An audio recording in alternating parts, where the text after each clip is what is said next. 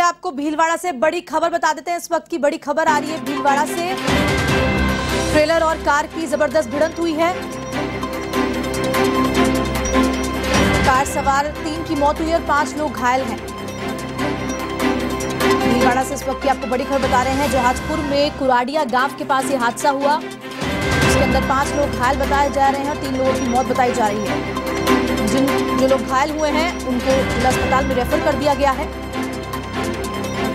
भीलवाड़ा में यह हादसा हुआ है। ट्रेलर और कार की ज़बरदस्त भिड़ंत हुई है और कार सवार तीन लोगों की मौत बताई जा रही है और पाँच लोग घायल हैं, जिनको जिला अस्पताल में रेफर कर दिया गया है।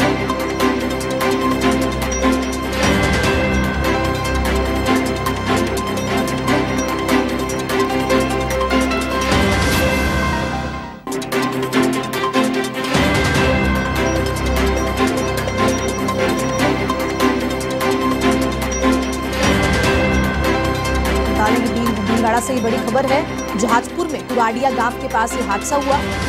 जहाँ पर ट्रेलर ने कार को टक्कर मारी और तीन लोगों की मौत बताई जा रही है। और पाँच लोग घायल हैं जिनको हॉस्पिटल में रेफर करवा करवा दिया गया है और उनका इलाज जारी है।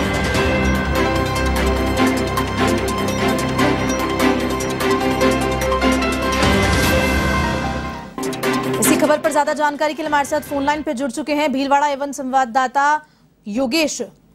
जी योगेश, बताएँ किस कारणवश ये हादसा हुआ और जो इलाज जिनका जारी है घायलों का उनकी अब क्या हालत बताई जा रही है?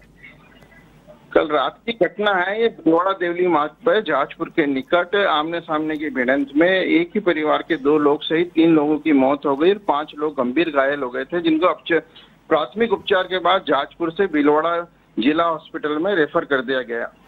अभी उनके तबीयत तीनों पाँचों जो गंभीर है उनकी तबीयत ठीक है और ये एक बच्चे का एडमिशन कराने के लिए सवाईपुर गए हुए थे। वहाँ से आते समय देर रात इनके आमने सामने टक्कर हुई। दांदुला गाँव के निकट ट्रेलर से आमने सामने की टक्कर हुई। उसमें तीन लोगों की मौके पर ही मौत हो गई।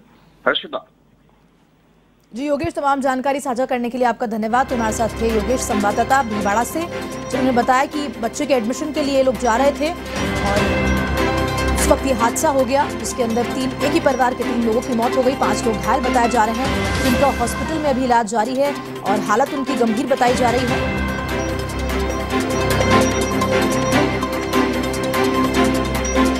जहाजपुर में कुरौडिया गाँव के पास ये हादसा हुआ है।